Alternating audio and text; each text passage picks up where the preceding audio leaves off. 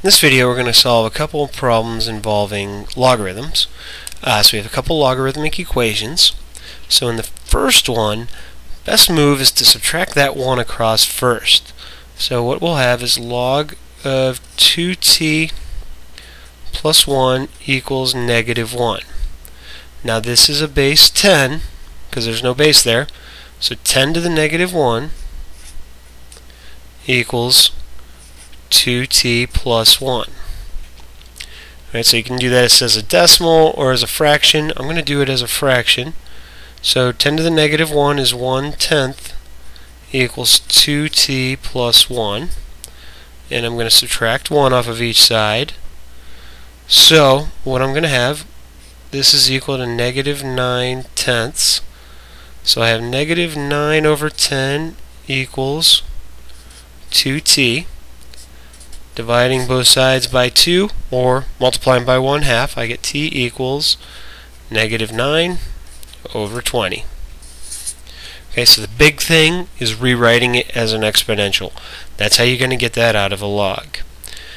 The second one here is going to be really similar but we are going to have to apply a property of logs first. We need to rewrite this left hand side as a single log.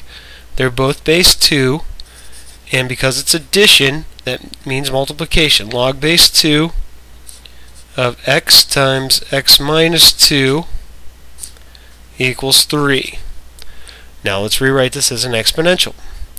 The base is 2, so 2 to the third equals x times x minus 2.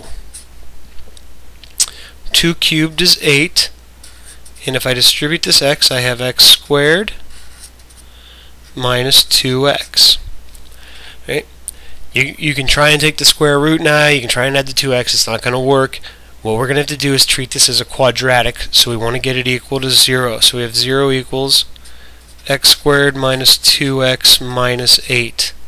Now we can look to see if it'll factor or check our graphing calculator. This one will factor. It factors into x minus 4 times x plus 2 which gives us two solutions, x equals 4 and x equals negative 2. Now there's something we need to be aware of here. That is that the domain of logs is that its input has to be greater than or equal to 0. 4 will be okay. 4 and 4 minus 2 are both positive, but negative 2 is not. It does not fit within our domain. So only 4 is a solution to this equation.